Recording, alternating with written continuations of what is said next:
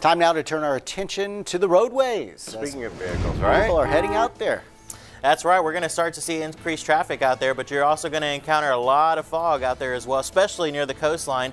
Use caution. Still holding on, to, holding on to about a mile over in Ingleside, Port Aransas Naval Air Station, two miles over in Rockport, and about three to seven miles for our inland communities. Our road weather index is continuing to show a lot of this orange color here, so of course that's where we have the most dense fog across the region. Could cause some uh, wet roadways across the region, so use caution.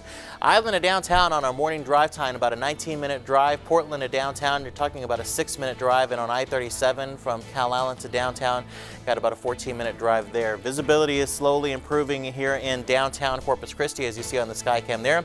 I-37 and Suntide, a little bit quiet this morning, not too bad with the fog. And over into Calallen on Northwest Boulevard, traffic is picking up, as well as on Highway 77 into Kingsville.